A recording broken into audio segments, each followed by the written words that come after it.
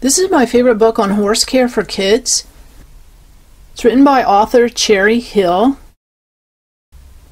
Has a variety of topics, understanding horses, finding the right horse, safety, feed, grooming, shelter, health care, and enjoying your horse.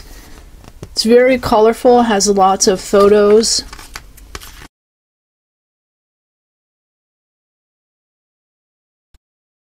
For example, in the Understanding Horses section, horse body language.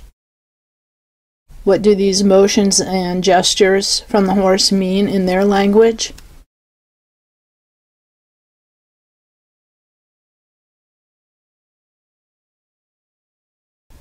The different gaits of the horse explained. Types and breeds. Colorings and markings. Tying a quick release knot.